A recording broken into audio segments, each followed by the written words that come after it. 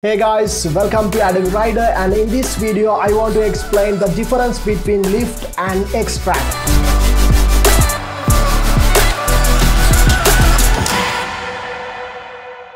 Here you can see on the video track 1 I have added a simple video clip and on the video track 2 you can see there is a simple text layer.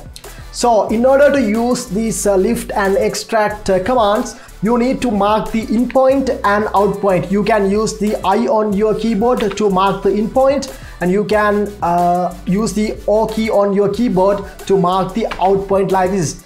Now we have marked the in and out point. Now let's take a look at what would happen if I click on this uh, lift button. So when you click on lift, it will lift the uh, highlighted area, marked area, but uh, it didn't lift the uh, this text layer because we haven't selected that layer, that video track, right? When lift happens, that means uh, it cut the part. So you can go to somewhere else and you can press Ctrl V to see that lifted part. So let me undo that. Now let's say I want to lift with uh, this part and this part. In order to accomplish that goal you need to select this video track 2 now we have selected video track 1 and video track 2 that means when we lift it will affect to both tracks. So let me uh, do that again. Now you can see now when you click on the lift it will extract both tracks. Now we can paste here like this.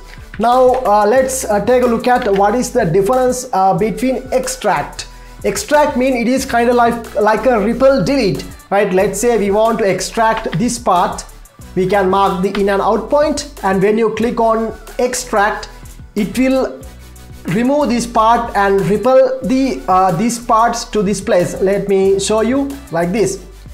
So you can get the idea right? You can undo that.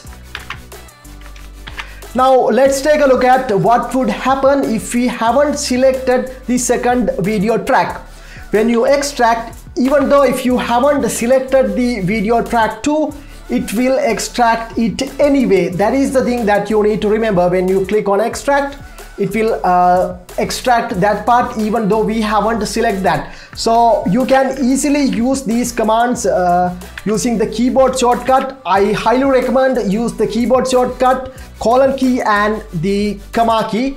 By using this keyboard shortcut you can easily do the editing and you can save a lot of time. Now let's say when you extract you want to protect uh, this uh, video layer right? In order to protect that you can lock that layer like this and then you can uh, do the extract. When you do that it doesn't affect the locked layer. Otherwise it will uh, extract too right? So this is a really good technique that you can edit fast when you are doing complex edit so if you want to learn this kind of stuff, please subscribe to Adobe Rider and I'll be back with the next video. Thanks.